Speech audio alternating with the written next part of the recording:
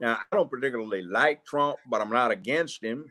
I did not vote for that damn fool that they had running against him, that racist dog, what I heard the first time in 1972 when I was doing an intern thing at a DC think tank, when he was out there with James O. Eastland, John B. Stennis, Faubus came in from Arkansas. That's the fool said they'd never integrate the uh, Little Rock High School. They had Wallace there, who was wheeled in, and they had Byrd, former Grand Dragon of the Klan, and they were talking about this young man who had a stupid looking ducktail like he was back in the 1950s, was the last true yellow dog Dixiecrat. And they were talking about Joe Biden, who mm. got up there and when the speech he gave, I mean, I was really offended. I heard it right outside the state capitol building in Dover, which mm-hmm. was a rundown, ransacked old house, 250 years old. Mm-hmm. And he said, Negro children are like roaches. If they're allowed to integrate the schools, they will infest them and they will never be gotten out. Negro. Who said that? Joe Biden said that? Yeah, I heard it. Wow. Saw him. Mm. He said Negroes were animals and they turned the streets into jungles. And he and Senator Eastland had a plan where they could put all of these Negro animals in zoos. Now we talk about the 94 crime bill, that wasn't shit. The 91 was bad. The 91 was really bad. The 81 was the one where one rock got you five years, which due to some other stuff Biden and Stennis and Eastland did, it wasn't five years with parole. They abolished federal parole. So you get five years, you get 60 months, and you get released with all good and honor time at 56 months from federal custody. And then there was that was the 81 when then there was a 79 and the 77. So let's give blame where blame is due. That bastard has been a racist dog. And he used to talk about he understood the Negro because he was raised in Delaware. Mm. And he said Delaware was a proud slave owning state mm. that basically copped out by not going with the South during the rebellion as it should have because they were too close to DC to not be intimidated. Mm-hmm. So I listened to this racist dog. I kept up with him because I was practicing criminal law, and federal criminal trials became almost a lynch thing because of what is allowed. By the way, if you ever get interrogated by the feds, never say, I don't know what happened. I don't know anything about it mm-hmm. because you will get convicted on one count of an indictment saying making a knowingly false statement to a federal investigator. You know mm-hmm. why?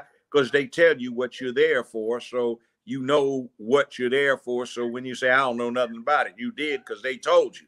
Mm-hmm. you. With the feds, you say, I have nothing to say or I refuse to make a statement. I want a lawyer. But if you're mm-hmm. talking with the state, you say, I don't know what the fuck you talking about. Fuck you, you know. But with the feds, watch what you say. Because yeah. in the federal system, thanks to Biden, Stennis, Eastland, and some other these yellow dog Dixiecrat races, what happens is they've set it up so you get tried by ambush if it is a criminal case. And if you're mm-hmm. absolutely innocent, you don't know shit about what happened. Mm-hmm. Eastland and Stennis and Biden set something else up where they deliberately set the rules so that a prosecutor could knowingly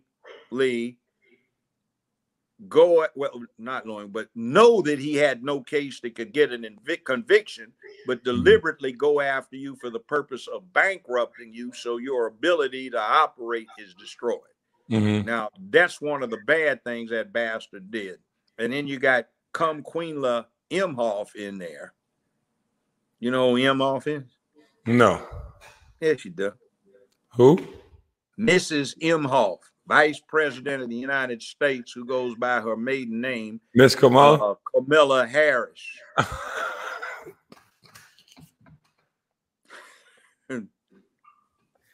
she's got two Jewish children she adopted. She married a Jewish husband who's got a interesting. I'm scared to talk about Kamala Harris. I'll let you have that one. no, she's a witch and she is a corrupt witch. She's been corrupt her whole life and she fucked her way to the top.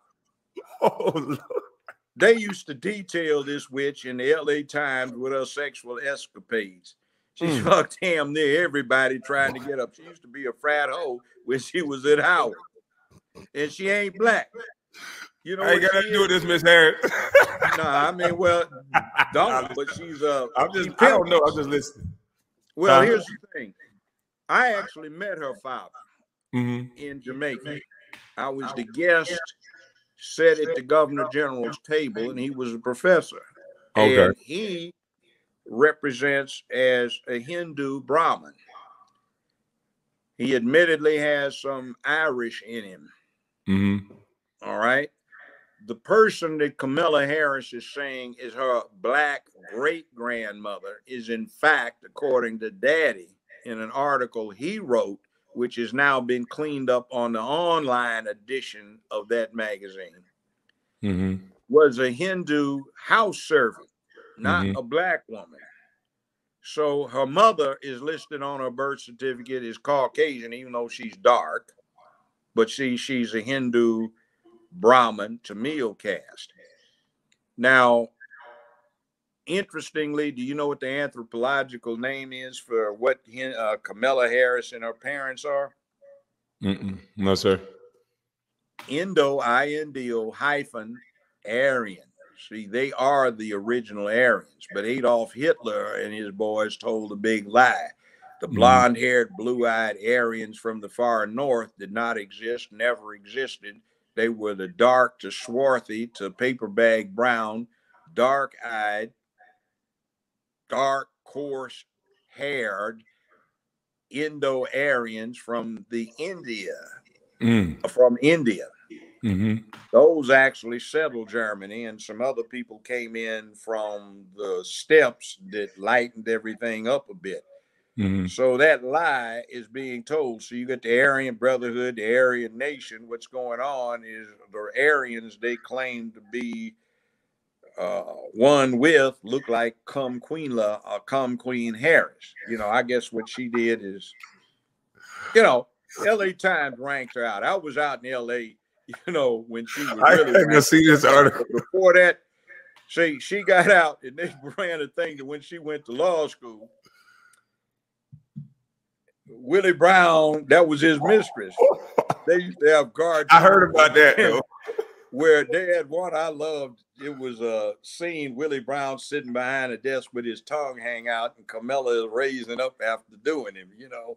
Mm. And uh, they ran this thing where he got her a job with a medical supply company that did business with the city of San Francisco. He got mm-hmm. her a mm-hmm. gig for 15 hours a week mm-hmm. for 72,000 a year. And you have to understand that was 35 years ago. Mm. And then when they carried a thing where she moved up to 20 hours a week, she getting paid 120 grand for a part-time gig. And he bought her a mm. 750i BMW. Mm-hmm. She was earning that. So then she had this thing where she was trying to get on with this big firm that wouldn't hire, so she started screwing one of your buddies, an NBA player who was their biggest client. So she wow. got hired. So then they ran a scandal sheet on her where she was trying to get on with the DA's office, so she started screwing the deputy chief DA to get on. So so